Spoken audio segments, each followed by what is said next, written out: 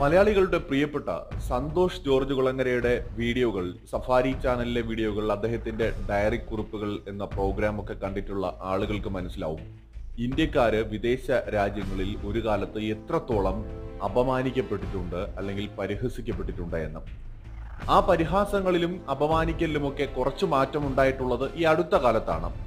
ഒരു കുറച്ച് വർഷങ്ങൾക്ക് മുമ്പ് വരെ അത് സന്തോഷ് ജോർജ് കുളങ്ങരയുടെ വീഡിയോ കണ്ടിട്ടുള്ളവർക്ക് നന്നായി അറിയാം. കുറച്ച് വർഷങ്ങൾ മുമ്പ് വരെ പ്രത്യേകിച്ച് വികസിത രാജ്യങ്ങളിൽ ഞാൻ ഈ പറയുന്നത് ചൈനയെക്കുറിച്ചോ റഷ്യയെക്കുറിച്ചോ അല്ലെങ്കിൽ ഏഷ്യയിലുള്ള രാജ്യങ്ങളെക്കുറിച്ചോ അല്ല. മറിച്ച് യൂറോപ്യൻ രാജ്യങ്ങൾ അല്ലെങ്കിൽ അമേരിക്ക കാനഡ തുടങ്ങിയ രാജ്യങ്ങളിലൊക്കെ ഇന്ത്യക്കാർ നേരിട്ടിട്ടുള്ള വളരെ മോശം അനുഭവങ്ങൾ ഒരുപാടുണ്ട്.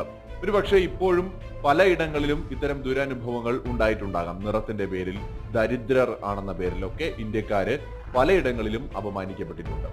ഇപ്പോഴും അത് പൂർണമായും മാറിയെന്ന് നമുക്ക് പറയാൻ പറ്റില്ല. കാരണം ഇന്ത്യ ഇപ്പോഴും കണക്കുകൾ പരിശോധിച്ചാൽ ഏതാണ്ട് രണ്ടായിരത്തി മുന്നൂറ്റി അമ്പത് അമേരിക്കൻ ഡോളർ വാർഷിക വരുമാനമുള്ള ഒരു രാജ്യമാണ്. അൻപതിനായിരത്തിനും മുകളിൽ അതായത് അറുപതിനായിരവും എഴുപതിനായിരവും എൺപതിനായിരവും അമേരിക്കൻ ഡോളർ വാർഷിക വരുമാനമുള്ള വെള്ളക്കാരന് അല്ലെങ്കിൽ യൂറോപ്യൻസിനും അമേരിക്കക്കാരനും ഒക്കെ ഇന്ത്യക്കാർ ഒരു ദരിദ്രൻ തന്നെയാണ്. അതിൽ യാതൊരു സംശയവുമില്ല. പലപ്പോഴും നമ്മൾ സോഷ്യൽ മീഡിയയിലാണെങ്കിലും അല്ലെങ്കിൽ ഇന്റർനാഷണൽ മാധ്യമങ്ങളുടെ ചാനലുകളുടെ താഴെ വരുന്ന കമന്റുകളാണെങ്കിലും പരിശോധിക്കുമ്പോൾ തോന്നിപ്പോകുന്ന ഒരു കാര്യം ചൈനക്കാരെ വിശ്വസിച്ചാൽ പോലും ഒരിക്കലും വിശ്വസിക്കാൻ കൊള്ളാത്തൊരു സമൂഹമാണ് നമ്മൾ സായിപ്പ് എന്ന് വിളിക്കുന്ന വെള്ളക്കാരൻ.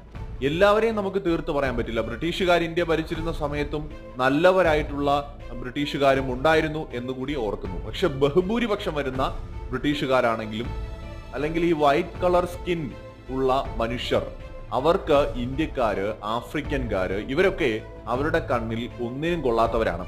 ഇത് പറയാൻ കാരണം കഴിഞ്ഞ ദിവസം ഒരു മാധ്യമത്തിൽ വന്ന അതായത് സി ടി വി എന്ന് പറയുന്ന ഒരു ന്യൂസ് ചാനലിന്റെ യൂട്യൂബ് ചാനലിൽ അവരിട്ടിട്ടുള്ള ഒരു വീഡിയോ. യുക്രൈൻ ഇഷ്യൂസ് ഒക്കെ നിരന്തരം അപ്ഡേറ്റ് ചെയ്യുന്ന ഒരു മാധ്യമമാണ് സി അപ്പൊ അതിനകത്ത് ഒരു കമന്റ് ശ്രദ്ധയിൽപ്പെട്ടു. ഒന്നല്ല ഒന്നിലധികം കമന്റുകൾ ശ്രദ്ധയിൽപ്പെട്ടു. അതിൽ പ്രധാനമായിട്ടും ഇന്ത്യ എങ്ങനെയാണ് ഇനിയും എക്സ്ക്യൂസുകൾ പറയുക എന്നതായിരുന്നു. അതായത് റഷ്യ പലയിടങ്ങളിലും യുക്രൈനിൽ ആക്രമണം നടത്തുകയും മിസൈൽ ആക്രമണങ്ങളിൽ കെട്ടിടങ്ങൾ തകർന്നു വീഴുകയും ഒക്കെ ചെയ്യുന്ന ദൃശ്യങ്ങളാണ് ഈ ഒരു ന്യൂസ് ചാനൽ പങ്കുവച്ചത്. അതിന് താഴെ വന്ന വിദേശ പൗരന്മാരുടെ കമന്റുകളിൽ ചിലത്. ഇന്ത്യ എങ്ങനെയാണ് ഇനിയും എക്സ്ക്യൂസുകൾ പറയാൻ പോകുന്നത്? അതുപോലെ തന്നെ ഒന്ന് രണ്ട് കമന്റുകൾ ശ്രദ്ധയിൽപ്പെട്ടു. ഇനി എങ്ങനെയാണ് ഇന്ത്യ ഇതിനെ ഡിഫെൻഡ് ചെയ്യുക? എങ്ങനെയാണ് ഇന്ത്യ എക്സ്ക്യൂസ് പറയുക എന്നതൊക്കെയായിരുന്നു അതിൽ ചിലരുടെ കമന്റ്. അതിന്റെ കാരണം നമുക്കറിയാം. ഇന്ത്യ ഇന്ന് യു എന്നിലെ പത്ത് താൽക്കാലിക അംഗങ്ങളിൽ ഒരാളാണ്. മാത്രമല്ല ഇന്ത്യ ഇന്റർനാഷണൽ ലെവലിൽ പല വിഷയങ്ങളിലും അഭിപ്രായം പറയുന്ന രാജ്യമാണ്. ഒപ്പം റഷ്യയുടെ സുഹൃത്ത് രാജ്യം കൂടിയാണ്. ലോകത്ത് പല രാജ്യങ്ങളും റഷ്യക്കെതിരെ ഉപരോധം ഏർപ്പെടുത്തിയപ്പോൾ അതിൽ നിന്ന് വിട്ടുനിന്ന യു എന്നിൽ ഉൾപ്പെടെ അതിൽ നിന്ന് വിട്ടുനിന്ന ഒരു രാജ്യമാണ് ഇന്ത്യ. അതുകൊണ്ട് തന്നെ മുഴുവൻ രാജ്യത്തുമുള്ള ആളുകൾക്ക് അറിയാം ഏതൊക്കെ രാജ്യങ്ങളാണ് റഷ്യക്ക് അനുകൂലമായ നിലപാട് സ്വീകരിച്ചത് അല്ലെങ്കിൽ നിഷ്പക്ഷത എന്ന പേരിൽ മാറി നിന്നത് എന്ന്. പ്രധാനമായിട്ടും ഇന്ത്യയും ചൈനയും ലോകത്തിന് മുഴുവൻ അറിയാവുന്ന രണ്ട് രാജ്യങ്ങളാണ്. അപ്പൊ അതിൽ ഒരു സുഹൃത്തിട്ട കമന്റിന് താഴെ വന്ന ഒരു മറ്റൊരു കമന്റാണ് ഈ ഒരു വീഡിയോയ്ക്ക് തന്നെ കാരണം. മറ്റൊന്നുമല്ല അതായത് ഇന്ത്യ ഡിഫൻഡ് എന്ന് പറഞ്ഞിട്ട് ഇന്ത്യയുടെ സ്പെല്ലിംഗ് ഒക്കെ തെറ്റിച്ചാണ് എഴുതിയിരിക്കുന്നത്. ഒരു പക്ഷെ അദ്ദേഹത്തിന് ഇന്ത്യയെക്കുറിച്ച് അറിയില്ലായിരിക്കാം അല്ലെങ്കിൽ വല്ല പാകിസ്ഥാനി കാരനും ഫേക്ക് അക്കൗണ്ടിൽ വന്നിട്ടതാകാം.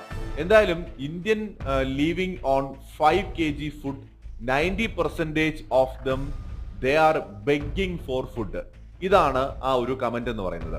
ശരിക്കും ഇന്ത്യക്കാര് ദരിദ്രരാണ്. അതായത് ഇന്ത്യ ഈ വിഷയത്തിലൊക്കെ കമന്റ് പറയാൻ അല്ലെങ്കിൽ ഡിഫെൻഡ് ചെയ്യാൻ ഇന്ത്യ ആരാണ് എന്ന പരിഹാസം.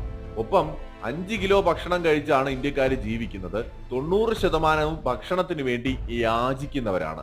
അതായത് ഒരു ദരിദ്രരായിട്ടുള്ള ജീവിത നിലവാരമൊന്നുമില്ലാത്ത ആവശ്യത്തിന് ഭക്ഷണമില്ലാതെ ഭിക്ഷയെടുത്ത് ജീവിക്കുന്ന തൊണ്ണൂറ് ശതമാനം ജനതയുള്ള ഇന്ത്യക്കാരിതിലൊക്കെ എന്ത് പറയാൻ എന്നാണ് ആ കമന്റിലെ പരിഹാസം.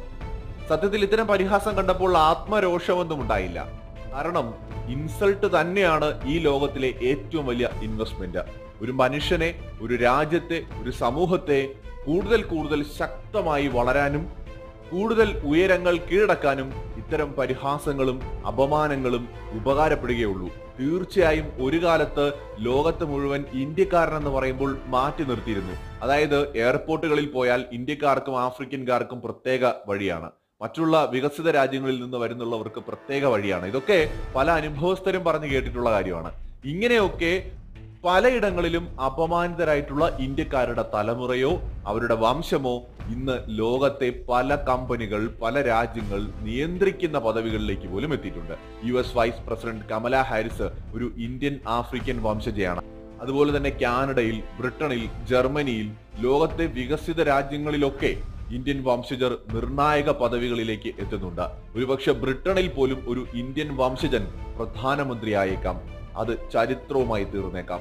അദ്ദേഹത്തെ പ്രധാനമന്ത്രി ആക്കാതിരിക്കാനും അവിടെ കളികൾ നടക്കുന്നുണ്ട്. എങ്കിൽ പോലും ഇങ്ങനെ ലോകത്തെ പല പ്രധാനപ്പെട്ട രാജ്യങ്ങളിൽ കമ്പനികളിൽ അതിപ്പോൾ ഗൂഗിൾ എന്ന് പറയുന്ന അമേരിക്കയുടെ ഏറ്റവും വലിയ കമ്പനി അത് ഇന്ന് നിയന്ത്രിക്കുന്ന ഒരു ഇന്ത്യക്കാരനാണ്. മൈക്രോസോഫ്റ്റ് എന്ന് പറയുന്ന മറ്റൊരു ലോകത്തെ ഒന്നാം നിര കമ്പനി നിയന്ത്രിക്കുന്നത് ഇന്ത്യക്കാരനാണ്. ലോകത്ത് ഒരു കാലത്ത് അപമാനിക്കപ്പെട്ട മാറ്റി നിർത്തപ്പെട്ടിരുന്ന ഒരു സമൂഹത്തിൽ നിന്ന് ഇന്ന് ലോകത്തെ സുപ്രധാന പദവികളിലേക്ക് ഇന്ത്യക്കാരെത്തിയിട്ടുണ്ടെങ്കിൽ ഇത് വെറും ഒരു സൂചനയാണ്. ഇപ്പോഴും നമ്മളെ പലയിടങ്ങളിലും അപമാനിക്കുന്നുണ്ട്. അത് കാണുമ്പോൾ മനസ്സിലൊരല്പം ദുഃഖം ഒരുപക്ഷെ വായിക്കുന്ന ഇന്ത്യക്കാർക്ക് തോന്നാം. പക്ഷെ അത് കൂടുതൽ ഉയരങ്ങളിലേക്കുള്ള ചവിട്ടുപടിയാണ്. സത്യത്തിൽ ഒരു കാര്യത്തിൽ ചൈനയോട് ബഹുമാനമുണ്ട്. ഇതുപോലെ ഒരു കാലത്ത് അപമാനം നേരിട്ടിരുന്നു ചൈനയും രണ്ടായിരത്തിന് മുമ്പ് ഇന്ത്യയും ചൈനയും ഒക്കെ ഏതാണ്ട് ഒരേ ജി ഡി പി ഉള്ള രാജ്യങ്ങളാണ്. ഒരു ഘട്ടത്തിൽ പാകിസ്ഥാന്റെ ജി ഡി പി അതായത് G D P per capita ഇന്ത്യയെയും ചൈനയും കാളും മുന്നിലായിരുന്ന ഒരു കാലം പോലും ഉണ്ടായിരുന്നു. അവിടെ നിന്ന് ചൈന ഇന്ന് ഒരുപാട് വളർന്നിട്ടുണ്ട്. ഇന്ത്യ വളർച്ചയുടെ ഘട്ടത്തിലുമാണ്. ഇന്ത്യ പതിയെ പതിയാണെങ്കിലും വളർന്നുകൊണ്ടേയിരിക്കുകയുമാണ് ഇന്ത്യയും ചൈനയും തമ്മിൽ ശത്രുതയുണ്ട്. ഒരുപക്ഷെ ഭാവിയിൽ യുദ്ധം പോലും ഉണ്ടായേക്കാം. അതെല്ലാം യാഥാർത്ഥ്യമാണ്. ഈ രണ്ട് രാജ്യങ്ങളും ചരിത്രപരമായി ഈ ഭൂമിയിൽ ഏറെക്കാലം അതിസമ്പന്നതയുടെ നെറുകയിൽ നിന്നിരുന്ന രാജ്യങ്ങളാണ്. ഈ രണ്ട് സംസ്കാരങ്ങളും ഇന്നും അങ്ങനെ തന്നെ തുടരുന്നുമുണ്ട്. അതുകൊണ്ട് നാളെ യുദ്ധം ഉണ്ടായിക്കൂടാ എന്നൊന്നുമില്ല. ഇന്ത്യയുടെ ഏറ്റവും വലിയ നമ്പർ വൺ ശത്രുവാണ് ചൈന. അക്കാര്യത്തിൽ ആർക്കും സംശയം ഉണ്ടാവില്ല അതുപോലെ തന്നെ ഇന്ത്യയുടെ ശത്രുവാണ് പാകിസ്ഥാൻ. ഇക്കാര്യത്തിലും സംശയം ഉണ്ടാവില്ല പക്ഷെ ഈ രണ്ട് രാജ്യങ്ങളും നമുക്ക് ശത്രുക്കളാണെന്ന് അറിയാം. അതുകൊണ്ട് നമ്മൾ ഇവരെന്ത് പറയും എന്ത് ചെയ്യുമെന്ന് പ്രതീക്ഷിക്കുന്നുണ്ട്. ഇന്ത്യയെക്കുറിച്ച് ഇവർ നല്ലത് പറയില്ല. ഇന്ത്യ ഒരിക്കലും സപ്പോർട്ട് ചെയ്യില്ല ഒന്നും ചെയ്യില്ല. ഇവരെ നമ്മുടെ ശത്രുക്കളാണ്. ഇവരെ ഏത് സമയവും നമ്മളെ ചതിക്കും എന്ന് നമുക്ക് അറിയുകയും ചെയ്യാം. എന്നാൽ ഇവരെക്കാലം നമ്മൾ ഗൗരവത്തോടെ വളരെയധികം ശ്രദ്ധയോടെ കാണേണ്ടത് നമ്മുടെ കൂടെ നിന്ന് ചതിക്കുന്ന സുഹൃത്തെന്ന് നമ്മളെ ബോധ്യപ്പെടുത്തി ചതിക്കുന്നവരെയാണ്. അതിപ്പോൾ അമേരിക്ക ആയാലും ശരി തന്നെ ഈ പറയുന്ന യൂറോപ്യൻസ് ആണെങ്കിലും ശരി തന്നെ. അവർക്ക് ഇന്ത്യക്കാരെ പുച്ഛമാണ്. ഇന്ത്യക്കാര് ദരിദ്രരാണ്. ഇന്ത്യക്കാര് സമ്പന്നരല്ല. ഇന്ത്യക്കാർക്ക് അമേരിക്കക്കാരെ പോലെയും അല്ലെങ്കിൽ യൂറോപ്യൻസിനെയും പോലെയുമുള്ള കളറില്ല ബ്രൗൺ സ്കിന്നുള്ളവരാണ്. ഇങ്ങനെ നമ്മളെ പല തരത്തിൽ ഇവർ അപമാനിച്ചുകൊണ്ടേയിരിക്കുന്നു. ഇപ്പോഴും ആ ഒരു പഴയ കോളനി കാലഘട്ടത്തിലുള്ള ബ്രിട്ടീഷുകാരുടെ അമേരിക്കക്കാരുടെ ചിന്താഗതി വച്ചു പുലർത്തുന്നവർ ഇന്നും ഉണ്ട് എന്നതൊരു യാഥാർത്ഥ്യമാണ്. ചൈനക്കാരോട് ഇത്രയും പ്രശ്നം അവർക്കില്ല. കാരണം ചൈനക്കാര് കുറച്ചും കൂടി ഇന്ത്യക്കാരെക്കാളും നല്ല നിറമുള്ളവരാണ് കുറച്ചുകൂടി സമ്പന്നരാണ്. അതുകൊണ്ട് ചൈനക്കാരെ ഇനിയിപ്പോ വേണമെങ്കിൽ അംഗീകരിക്കാം എന്നതാണ് അമേരിക്കക്കാരുടെയും യൂറോപ്യൻസിന്റെയും ഒക്കെ ഒരു നിലപാട്. പക്ഷെ ഇന്ത്യക്കാർ അങ്ങനെയല്ല ആഫ്രിക്കക്കാർ കഴിഞ്ഞാൽ അവർക്ക് കണ്ണിൽ പിടിക്കാത്തൊരു സമൂഹമാണ് ഇന്ത്യക്കാർ പിന്നെ എന്തുകൊണ്ടാണ് ഇന്ത്യ അംഗീകരിക്കുന്നത് എന്ന് ചോദിച്ചാൽ ഇന്ത്യ ഈ കുറവുകൾക്കിടയിലും പല രംഗങ്ങളിലും അതിശക്തമായി വളരുന്നത് കൊണ്ട് മാത്രമാണ്. സൈനിക ശക്തിയിൽ ഈ പറയുന്ന വലിയ തലമൂത്ത ബ്രിട്ടീഷുകാരെയും ഫ്രാൻസുകാരെക്കാളും ഒക്കെ ഇന്ത്യ ഇന്ന് മുന്നിലേക്ക് എത്തിയിട്ടുണ്ട്. ലോകത്തെ നാലാമത്തെ സൈനിക ശക്തിയാണ്. ലോകത്തെ നാലാമത്തെ സൈനിക ശക്തിയായത് അങ്ങ് വെറുതെ ഒന്നുമല്ല അതിശക്തമായിട്ടുള്ള ആയുധങ്ങൾ ഉൾപ്പെടെ ഇന്ത്യയും കണ്ടുപിടിച്ചിട്ടുണ്ട്. പലപ്പോഴും ഫ്രാൻസിനും ബ്രിട്ടനും പോലും ഇല്ലാത്ത ആയുധങ്ങൾ ഇന്ത്യക്കുണ്ട്.